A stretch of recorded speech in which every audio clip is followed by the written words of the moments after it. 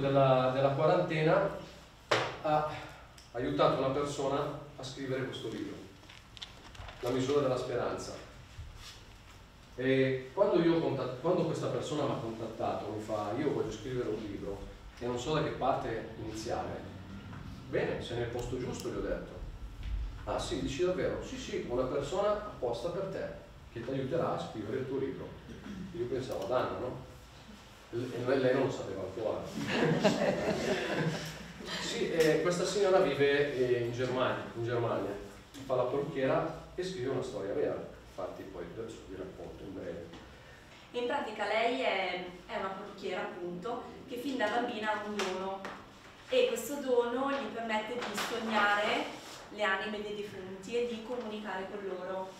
Quindi lei, eh, durante i suoi anni di attività, ha conosciuto questa persona che poi è un po' la protagonista del libro, che si chiama Angela, e Angela insomma, si sposa e decide di avere un figlio. Nel frattempo le muore il padre. Insomma, avviene un miracolo perché Giusy, eh, quella che racconta appunto il libro, eh, in, fine, magari. no, infatti, inizia, inizia a sognare il papà di Angela. E quindi la misura della speranza è questo, lei ci mette sette anni arrivare a questo miracolo. E nella storia ci sono tutte le volte, cioè tutti i sogni che lei ha fatto in cui ha sognato Giovanni, che si chiama Giovanni lui,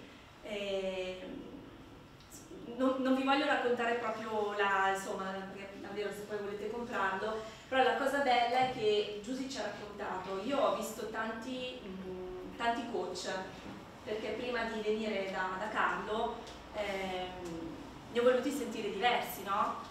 Però poi alla fine Giovanni, lei continua a sognarlo, è come se gli desse continuamente dei messaggi, mi ha detto che doveva essere lui, quindi dovevo scegliere Carlo, dovevo scegliere Carlo e c'era un motivo.